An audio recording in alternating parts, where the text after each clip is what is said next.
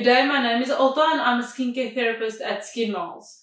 So today I want to show you one of my favorite products. It is the ZO Skin Health 0.5% Retinol Skin Brightener.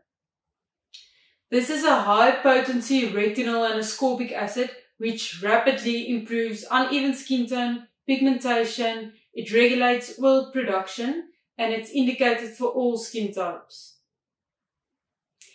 So you can start with the lowest concentration, which in this case is your 0.25 retinol.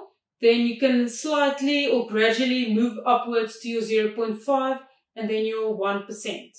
So you can start off by using every third night for two weeks and then afterwards every second night for the additional two weeks. If no reaction occurs, you can continue by using it each night. I'm going to show you how this looks. So you can use this as a cream or a serum. Um, I feel I'm a bit more combination, so if I use this, it feels more than enough moisture for me. If you're more on the drier side, you can use a moisturizer afterwards. You'll see it's very yellow in color. It has a very lemon and fruity smell to it. The retinal usually has a yellow color, is usually a yellow color.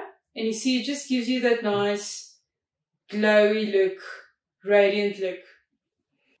Thank you for listening. If you have any questions, please visit us on skinmiles.com. We have a live chat available there where we can assist you.